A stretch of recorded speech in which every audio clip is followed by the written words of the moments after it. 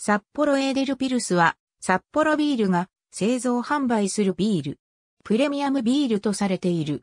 スタイルはピルスナー。エーデルピルスとは、高貴なピルスという意味を持つ。ドイツの伝統的な製法で醸造されている麦が100%のピルスナーである。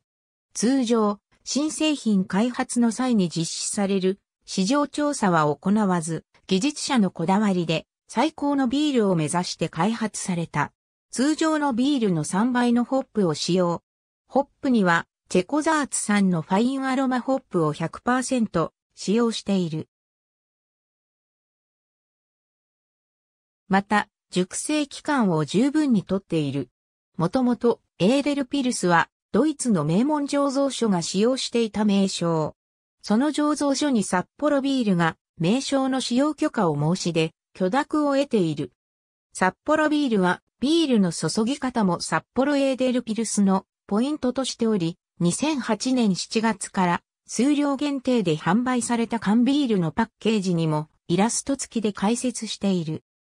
1984年札幌ビール本社製造部に在籍していた社員が新しいビールの開発を命じられる1987年4月 350ml 缶と5瓶の発売。1989年2月瓶の市販を終了。1990年2月間の市販を終了。2007年20周年を記念してインターネットで限定販売。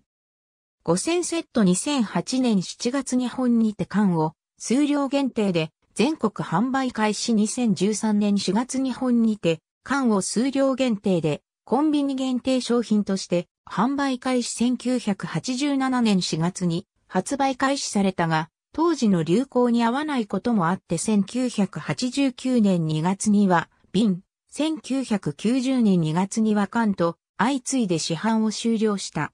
業務用村に関しては、その後も継続して販売していた。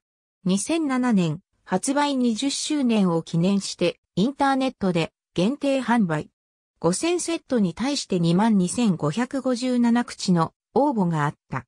2008年7月、日本にて数量限定で全国販売を開始する。